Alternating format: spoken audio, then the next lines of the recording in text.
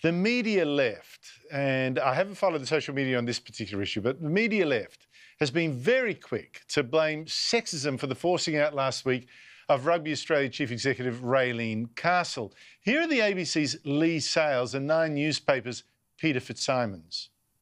Do you have any sense that you're attracting criticism because you're perceived as an outsider, a Kiwi and a woman running a sport whose biggest names are privileged, middle aged Australian blokes? I don't really think about it like that, Leigh. If you were to measure the antipathy against Raelene Castle, about a half of it, in my view, is because she's a woman, and there is a inbuilt discrimination. We can't have a woman running rugby. Daisy, why are journalists rushing to sexism as the first explanation of Castle being dumped when the very same rugby establishment hired her in the first place?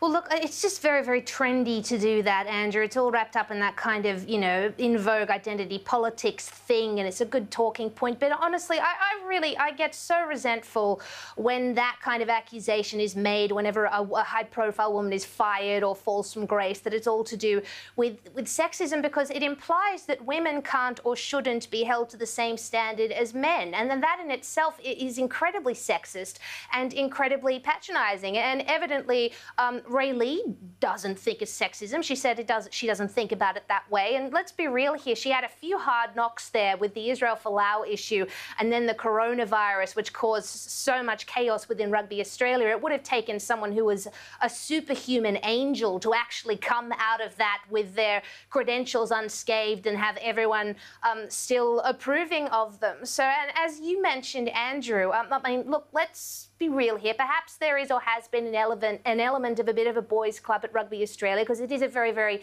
male historically environment. But as you mentioned, if the sexism is so entrenched there, then why did they hire her, a woman, in the first place over a bunch of male candidates? It makes no sense. Exactly correct. Uh, get over that hurdle first, there, guys. Daisy Cousens, thank you so much indeed for your time.